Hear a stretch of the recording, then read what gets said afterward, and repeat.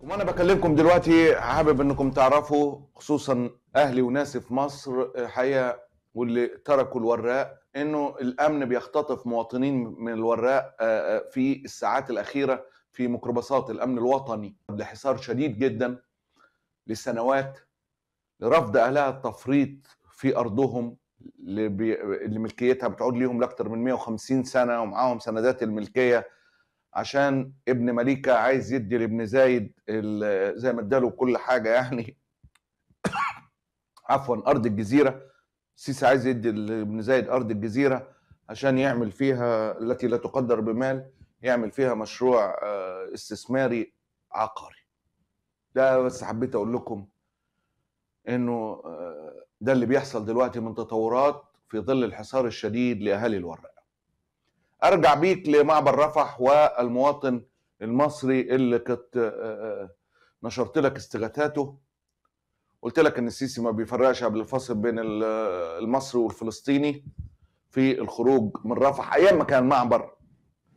معانا وإن الوحيد اللي, اللي, بيدخل سينا بكل حرية وبلا مقابل هو السائح الإسرائيلي وبيحظى بالرعاية آه، زيه زي ما بيحظى في الإمارات وزي ما بيحظى في الدول العربية الشقيقة. المهم. النهاية بتاعة الراجل كانت نهاية القصة دي نهايتها مؤلمة جدا. 13 شهر من المعاناة انتهت بخبر أليم جدا. محمود جمال واحد من المصريين العالقين في غزة أرسل عشرات الصرخات لحكومة بلاده عشان يدخل مصر. من أكتوبر 23 لأكتوبر 24 المصري اسمي محمود جمال عبد المنعم عبد اللطيف سيف النصر وحاليا في غزة. جيت زيارة هنا عند أهل مراتي ولحد دلوقتي مش عارفين نخرج. طلعنا كذا مرة على المعبر ورجعونا تاني. قال لك لازم اسمك يكون نازل في كشف رجعت وكلمت والدتي. والدتي راحت وزارة الهجرة وزارة الخارجية جميع الجهات المختصة بينا. ولحد دلوقتي مفيش أي نتيجة. السلام عليكم. أنا اسمي محمود جمال عبد المنعم عبد اللطيف سيف النصر مواطن مصري حاليا في غزة. أنا ومراتي وابني ولحد الآن مش عارفين نخرج من يوم 7 أكتوبر من ساعة ما الحرب حصلت على غزة وإحنا لحد الآن مش عارفين نخرج. أنا جيت هنا زيارة عند أهل مراتي وحصلت الحرب. وجينا تاني عشان نخرج على المعبر رجعونا قال لك لازم اسمك يكون نازل في كشف. رجعت تاني كلمت أهلي. أهلي راحوا وزارة الخارجية وزارة الهجرة جميع الجهات المختصة بينا. وطبعا يعني أنا والدتي راحت أكتر من جهة ووالدتي ست كبيرة وتعبانة وعندها القلب. كان في زيارة لزوجته محمود جمال. زوجته من غزة دخل غزة بعديها حصل الطوفان والحرب قامت. خد عياله ومراته وقرر يرجع لمصر عبر معبر رفح. لكن ما حدش عداه. المعبر مقفول. ده من قبل ما اسرائيل تستولى عليه. شاب حاول هو وعيلته يعدل مصر مفيش فايدة. بدأ يبعت أمه المريضة واللي عندها القلب لكل مكان في مصر عشان يتدخلوا ويسمحوا بدخول ابنها ومراته وعياله. تشوف هي عيالها وابنها وأحفادها. حاولت محاولات كتيرة جدا. السلام عليكم. اليوم 12 أكتوبر 2024 نداء استغاثة لسياده الرئيس عبد الفتاح السيسي ورئيس الوزراء الدكتور مصطفى مدبولي. أنا مواطن مصري اسمي محمود جمال عبد المنعم عبد اللطيف سيف النصر وحاليا في غزة. جيت زيارة هنا أنا ومراتي وابني قبل الحرب عند أهلها وحصلت الحرب والدنيا قفلت علينا ولحد دلوقتي مش عارفين نخرج جينا طلعنا على المعبر رجعونا تاني وقال لك لازم اسمك يكون نازل في كشف. رجعت كلمت أهلي والدتي راحت وزارة الهجرة وزارة الخارجية جميع الجهات المختصة بينا وقال لها أسبوع أو 10 أيام واسمه ينزل في الكشف ولحد دلوقتي يعني لحد ما المعبر يعني قفل وإحنا بقالنا أكتر من سنة وإحنا متواجدين في غزة ومش عارفين نخرج منها. وكمان يعني أنا والدتي ست كبيرة ومريضة وتعبانة وعندها القلب ومش حامل إن هي كل 10 أيام أو كل أسبوع تجري على وزارة الهجرة ووزارة الخارجية وتعبت أكتر من مرة في الوزارة وفوقوها. وقال لها إن شاء الله في أقرب وقت ابنك يكون موجود لحد ما المعبر قفل. وكمان يعني أنا معايا مراتي حامل بتعاني من ظروف صحية المفروض إن أنا أنزل بيها مصر في اقرب وقت لأن هي محتاجة لرعاية. امي تعبانة مراتي حامل ما فيش أي رعاية صحية مصر عاملة نفسها نايمة. لا أي رد. لا أي رد. محمود في زيه كتير. حد سمع صوتهم. يعني لما عباس كامل قبل الطوفان بأيام آه، كان عنده معلومة راح بلغ جيش الاحتلال بلغ نتنياهو قال له ان يبقى في حاجة آه، بتاع ده هتحصل? فأنتوا بما انكم عارفين المعلومة ما, دخ... ما بعتوش ليه دخول المصريين من معبر رفح لأي إجراء احترازي؟ ده عمره ما هيفكر فيه لأن المصري ملوش تمن جوه بلده. عشان نبقى فاهم. ده الكلام مش جديد. كان همهم إن هم يحضروا نتنياهو. أما المصريين صرخوا وعملوا بتاع ما لهمش تمن. والعرجاني بأوامر محمود السيسي شروطه واضحة تدفع فلوس والشخص الواحد فوق 7000 دولار. هنا صعب جدا في العلاج في الأكل في الشرب. ربنا الآن إن أنا بحضر الأكل والشرب كمان يعني معايا طفل رضيع إن أنا بحضر له حليب وببص والأكل والشرب في ظل الظروف والمعاناة اللي إحنا بنعيش فيها وكل يوم الخطر بيزيد علينا. وكمان يعني إحنا ربنا يعني نجانا المرة دي ومش ضامنين إيه اللي ممكن يحصل معانا المرة الجاية. كل اللي إحنا بنطالب بيه إن إحنا إن إحنا نرجع بلدنا إحنا مش طالبين أكتر من كده. فرجاء إنكم تنظروا لموضوعنا إن إحنا نرجع بلدنا في أقرب وقت.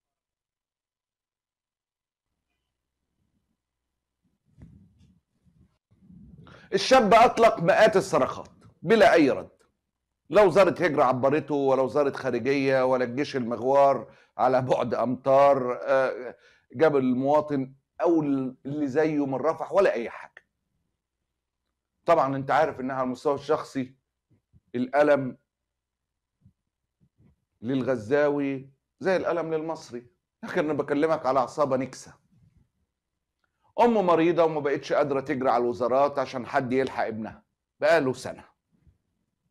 والدتي ست كبيرة وتعبانة ومريضة وعندها القلب ومش حمل اللي هي كل 10 أيام تروح وزارة الهجرة ولا وزارة الخارجية وتتعب في الطريق كذا مرة. يعني المفروض إن أنا اللي أكون جنبيها وأنا اللي أرعاها بس الظروف هي اللي حاكمة إن أنا أكون هنا في غزة. للأسف الشديد والدة محمود جمال توفت بالأمس. بعد مجهودات سنة. ربنا لم يكتب لها بسبب العصابة المجرمة. ما هو في أسباب. إنها تشوف لا ابنها ولا أحفادها. وخرج محمود ينعي أمه بهذا الشكل من فوق ركام غزة. طبعا اليوم جالي خبر يعني مؤسف جدا. والدتي في رحمه الله البقاء لله الله يرحمها وطبعا أنا بقالي أكتر من سنة. أنا كان نفسي إن أنا أروح علشان اخدها في حضني عشان امي اللي وحشاني كان نفسي أنزل مصر عشان امي وحشاني. واليوم امي ماتت حتى مش عارف واطلع في عزاها ولا عارف أعمل أي حاجة. وقالي وأنا بقالي أكتر من سنة أنا بتكلم عايز أروح. وامي اللي كانت بتجري لي وامي اللي كانت بتروح لوزارة الخارجية وما كانش في حد ليا غير هي. ودلوقتي راحت. من إمتى مصر كانت بلدنا من ساعة ما حكمها العسكر وهي مش بلدنا؟ ده تعليق على البث المباشر. إنا لله وإنا إليه راجعون. خالص العزاء.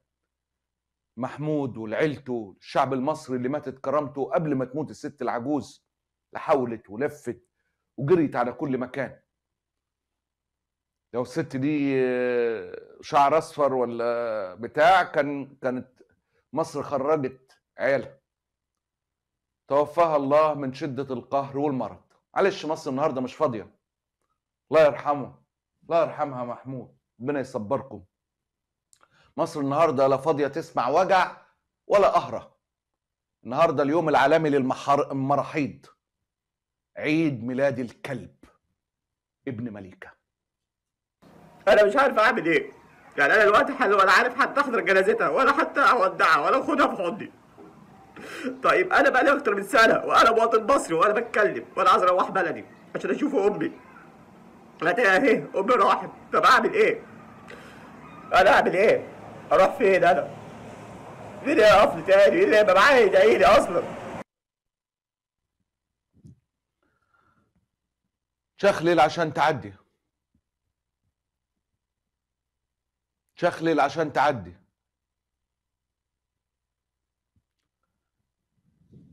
قصة الشاب ده فكرتني بأحقر مشهد في تاريخ المصريين وأحقر تصريح أحقر التصريحات يعني ما ما الواحد مش عيب مش هيقدر بسهولة يدي التصريح رقم واحد في الحقارة. لما عمود خيمة التعريض السعودي اللي من ذو أصل مصري عمرو أديب قال للمصريين العالقين أثناء أزمة كورونا إحنا مش عاملين حسابكم ترجعوا مصر. أنا بقول بقى رسالة واضحة لكل الناس اللي بره اللي لسه ما رجعوش. اديكوا عرفتوا العينة. اللي متضايق ما يجيش. دي بلدنا ودي ظروفنا. لا من كان من أوسخ التعليقات لما الناس كانت بت بت بتعترض على اللي بيواجهوه لما ينزلوا مصر. كان تصريح من أحقر ما يكون. افتكرته لما توفيت أم محمود. الله يرحمها. لو آه، بلد فيها بربع جنيه عدل وحقوق كان زمان عمود خيمة التعريض محبوس من يومها في 2020 ولو حرفش علاقة في الجو. مصر بتقفل طب جيتي ليه؟ على العموم إحنا فيها.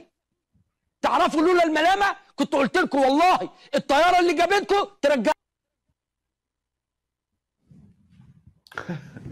هي دي مصر. اش كرامة؟ يعني بص حضرتك أصغر دي لو أي لو قبائل آه، آه، قبائل. كان راح رئيس القبيلة حد من بتاع قال له إزاي يتقال لنا كده وبتاع كان كان اتحبس يعني المصري بلا قيمة ولا كرامة وده أساس حكم العسكر. وحقيقة المجرم في اللقطة التمثيلية بتاعت آه، ضرب النار عليه بطل الولا حاجة. كان قال جملة زي كده من أحقر الجمل اللي ما انساهاش في التاريخ. معرفش إزاي عدت على الناس. لما كان عامل تمثيلية إنه اتضرب بالنار والإخوان عشان ينقلب على على محمد نجيب بقى الانقلاب الثاني ويقتل الإخوان ويقتل سيد قطب وكده. إن هم اللي ضربوا عليه النار في المنشية حادثة المنشية. فقام قايل إيه؟ أنا اللي علمتكم الكرامة! بعد لقطة الكذب بتاعت بتاع ابن مال ابن بطل الولا حاجة المجرم هو اللي علم مصر الكرامة اللي هرب في حرب 48 واستخبى هو اللي علم مصر الكرامة. فمن ساعة ما عبد الناصر علم مصر الكرامة وهي ما عندهاش كرامة. بلا كرامة. ما لحقش يعلم الشعب المصري كله الكرامة.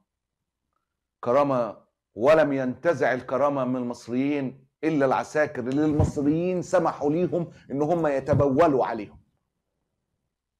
المصريين و- وعصابة السيسي مجرد في نظر السيسي وعصابته مجرد أرقام. المصريين في الخارج مجرد تحويلات مالية. اللي هي لولاها كانت مصر قلعت آخر قطعة. ولا يقابل تلك التحويلات بأي قيمة لأي حد. المصريين ما لهمش قيمة. جوه بلدهم همش قيمة. مش هيبقى لهم قيمة بره بلدهم. والدة محمود ماتت ومحمود من نزوح لنزوح وجيش بلده على بعد أمتار. ما يقدرش ينقذه زي ما يقدرش يرمي باكو بسكوت لغزة. يوسف. علشان تعيش هنا في غزة محتاج قد إيه مصاري عشان تعيش هنا في غزة؟ هنا؟ آه. في الشهر؟ آه في أنت الشهر ع- أنت عايز هنا أقل حاجة لحد بتاكل وتشرب؟ آه. عايز 2000 دولار أقل حاجة. 2000 دولار أقل حاجة؟ أقل حاجة. إحنا هنا الأسعار عندنا سياحة.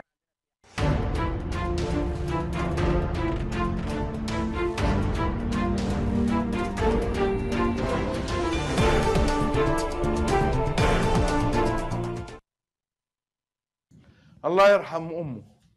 الله يرحم أمه. القصة في إيه بقى؟ ليه المشهد ده يعني أول النهارده ما شفت اللاجئين افتكرت هذا المشهد. وسط ذلك التعامل مع الشعب المصري النهارده سلقوا القانون الخاص باللاجئين في يومين. وافقوا على قانون اللاجئين في عز إنهم مش عايزين اللي بره يرجع وبيتعامل معاملة مهينة. واللي جوه بيتعامل معاملة أسوأ. لكنهم بيوعدوا اللاجئين إنهم هيعيشوا في رخاء في مصر. هي بس هنبدل فيها آه، حرف. يعني هن- هنخلي حرف يسبق حرف. هنبدل مكانين حرف. ومنح مشروع القانون عدة لجول لاجئ أبرزها عمل الحق في التغاضي والإعفاء عن الرسوم القضائية الحق في التعليم الأساسي الحصول على رعاية صحية مناسبة الحق في العمل تأسيس شركات انضمام عن تحميل أي ضرائب أو رسوم أو علاوة منح حق التقدم للحصول على الجنسية المصرية القرارات دي يا جماعة عاملة أزمة للجان والكميتة والناس اللي شحنوها ضد إخواتنا من السودان وسوريا و... والحملات العنصرية الرهيبة اللي تابعتوها معانا. فجأة باقي تحيا مصر هنجت. لانهم كان الرسالة اللي كانت بتقال بكل عنف ومنتهى القذارة مصر المصريين. فبيطالبوا اللجان في 24 ساعة إن مصر تفتح ذراعيها للاجئين وتديهم الجنسية وحقوقهم. اللي بيحصل ده مشهد مريب غريب عجيب تحيطه الاستفهامات وعلامات التعجب سل- سلق القانون بتلك السرعة غرضه مش تمام على الإطلاق في واحدة من أنجس العصابات اللي مش مرت بس في تاريخ البلاد بل في تاريخ الأمة الإسلامية والعربية فلوس جاية هياخدوها ويوزعوها بند محطوط استعدادا لمشهد قادم لمنع حق العودة اللي هو اللاجئ اللي حكيت لك عليه امبارح اللاجئ اللي هيجي من فلسطين وغزة ممنوع, ممنوع يرجع آه، آه، عشان لجوءه يستمر وخدت بتاع أنت مش هرجعك تاني. مصر القوانين اللي أعلنتها دي هي قوانين في الأساس قوانين أوروبية معمولة للاجئين. في عندهم يعني ألمانيا مثلا فتحت السوريين ما كانش بس آه، آه، قلب كبير من ميركل. خالص. المانيا عندها نقص شديد جدا جدا جدا في الإيد العاملة زي دول أوروبية كتير ارتفاع مستوى الأعمار القصة الرواية ففي أسباب. إحنا عندنا بنشتكي من زيادة المواليد وبنعقم الستات نديهم حاجات عشان ما يخلفوش. وبنشتكي من اللاجئين. ففجأة في 48 ب 40 ساعة نسلق قانون ليه تبعات كبيرة جدا. هذا مشهد ليس بريء بالمرة. عايز زمايلي يقطعوها. قانون اللاجئين اللي اتسلق في يومين هو مشهد ليس بريء بالمرة. هو مشهد ملوث بخيانات. هتتكشف في هو مقبل من أيام. قولوا يا رب أطلع مش فاهم أي حاجة ولا أفرق عن ال- الطاولة اللي أنا قاعد عليها دي. ساعتها أكون مبسوط.